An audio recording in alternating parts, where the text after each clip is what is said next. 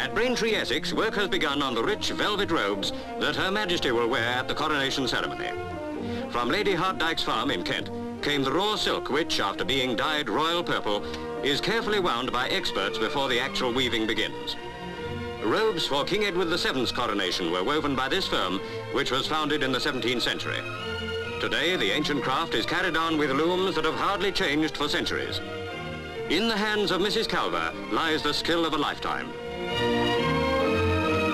Steadily, the two 20-yard lengths of velvet are being prepared to make a robe fit for a queen on coronation day.